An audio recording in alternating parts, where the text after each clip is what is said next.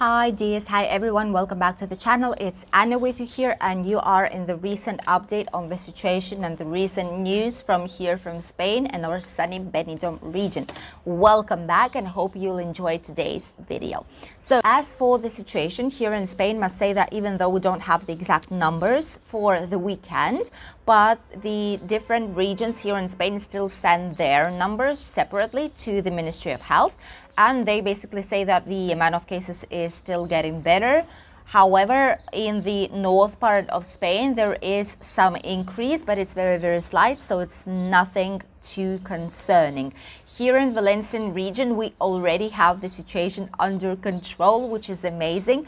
I mean, we, we have like stable amount of cases and the index is less than 50, which basically makes us very happy. And hopefully the situation will get better soon, very, very soon. And tourism and a lot of people will be able to come back to our region. From today, there are some um, measures relaxed in a lot of different uh, regions. Here in Spain, there are some changes. For example, in Catalonia, starting from today, Monday, 15th of March, people are able to move between different cities and towns and villages throughout the whole Catalonia area. Before uh, today, people were not able to leave their town without any kind of specific reason and very important reason which is not the case anymore. What else is happening in Valencian community here in our region, in Benidorm region, basically? The swimming pools, gyms are open, spas are open as well, together with the showers and the changing rooms, of course. And apart from this, the terraces of bars and restaurants are able to open for 100% of capacity. So all tables are able to be occupied for maximum allowed. And the interior, so the inside of the place, of the bars and restaurants, will be able to open with a capacity of 30% of the usual maximum amount, which is also amazing for our regions. It's a huge help for a lot of different businesses that were suffering quite a lot from this lockdown and for people not being able to go to the bars and restaurants, but now the situation is slightly getting better. Another news that I wanted to let you know about is where here in Spain is the most expensive place to live a lot of people are thinking of moving to Spain or they are living here in Spain but they're searching for another place or maybe another town or city to live in. So I've checked it and it's very interesting because the most expensive town to live in is Madrid. It has approximately 15% uh, of more more of costs, different costs for a person that he needs to pay or she than the rest of Spain. So if you want to live in Madrid, you'll have to spend approximately 15% more than the rest of Spain of money. The cheapest place to live in, in general, in the in terms of the amount of money spent per month, is Extremadura, and there you will, in average, spend approximately 13% less than the average Spain. Catalonia is on the second place. So Madrid and then Catalonia region are the most expensive ones here in Spain to live. And Valencian region is approximately on the 10th or 12th uh, place in this list. So basically here in Valencian region, it's not that expensive to live as we thought even though we wouldn't say it by how the things are here. But at least by statistics, it's not that expensive as in other regions. Andalusia is slightly above us, so it's a little bit more expensive to live there as in the Valencian region. And um, all the other like Balearic Islands and Canarian Islands, they are on the top of the list, so they are also one of the more expensive ones. Canarian Islands are less expensive than Balearic Islands, by the way. This basically shows us that uh, even though we think that living in huge um, metropolis and huge cities, like biggest cities of the country, is very good, you would earn more money. Probably the amount of jobs and different areas to work in is a lot um, higher and a lot wider than in the smaller cities and in a lot of different regions here in Spain. But the truth is that living in these cities, even though you will receive a higher salary, probably, but you will also have to spend more money on the living as well as on the monthly rent or if you want to buy a house for the car for the light for electricity for different goods like food beverages um, even clothing. Everything is slightly more expensive in these re regions than in the others like in Andalusia or Valencian community, for example, which is very, very, very interesting. So sometimes living in the biggest cities is not really a solution.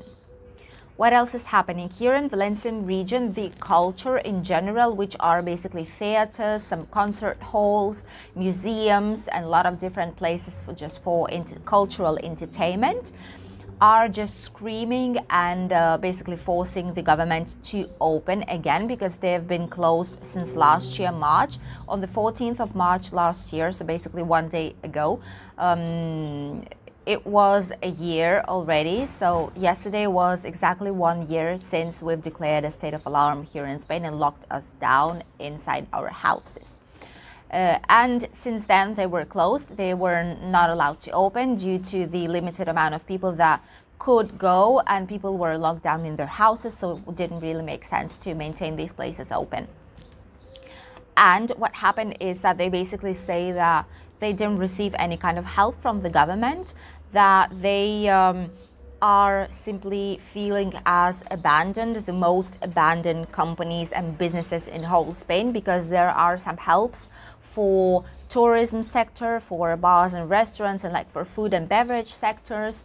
There are a lot of different helps for different um, companies here in Spain, and they receive these helps, they receive this money. But the cultural sector here, um, the cultural part of the economy here in Spain, didn't receive any kind of help and are not planning to receive one, which is very, very sad to be honest but they are saying that at least if they don't receive any kind of money from the government, at least please let us open, even though it's with a 50% of maximum capacity. But at least it's something to help these businesses to stay alive and not to lock themselves down permanently. This is basically what's happening here. Another news from our region here in Benidorm region and Alicante area is that we have a huge problem with um, driving schools.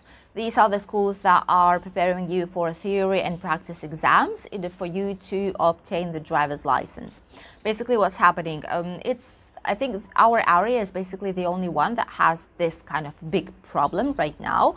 There's been a new law that's um, that's basically stating that you, the person that's examining you for the practice exam cannot make um, more exams than, for example, three or five a day, which is not a lot. Due to this fact, there's a huge queue right now of people waiting to get examined for the practice exam and receive the driver's license. And as for now, the amount of people waiting is 18,000 people. The approximate amount of time that they need to wait is five months. Can you imagine? This is a very, very big problem, especially for students that, for example, just uh, finished school and they want to go and study outside, but they want to get examined for the driver's license first. They have to wait a lot, and a lot of them just cannot wait that long, which is very, very sad. Um, these um, different schools for the drivers are. Um, asking the uh, government to eliminate, to take away this this law and allow the people who examine um, to um, have a little bit more of exams during one day. For example, instead of three, to have like five, six, seven, or eight, as much as they can, like a normal work day, um, in order to lower a little bit the amount of people that are waiting and lower the queues and don't have this huge amount of time, which is five months, in order to finish the last step and get the driver's license. This is basically what's happening here in Spain and in our region for the day of today. As for the Spanish weather, must say that it's still very, very nice, although today we have quite a lot of different clouds on, on the sky, which we didn't have yesterday, but still it's very nice to stay outside, although you need to have some light um, like jacket, blazer, something on top of you, but it's very, very nice um, to go have a walk or just sit down on the terrace, which we can finally do in our region.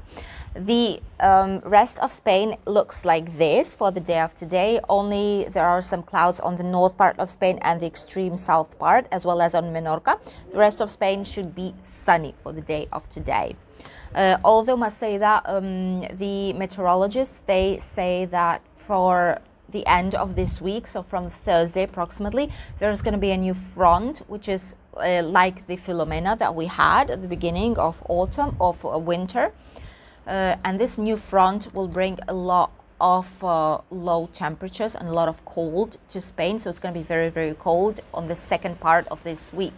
Things might change, might not, but we will see uh, closer to the second part of the week, to Wednesday or Thursday, how things are going to be. And hopefully, it's not going to be that cold as they promise.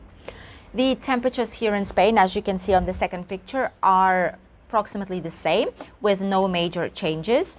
And on the north part of Spain, it's going to be from 6 to 15 degrees. In the center, 11 to 17. Uh, the Mediterranean area and the south part of Spain will have from 15 to 23 degrees today.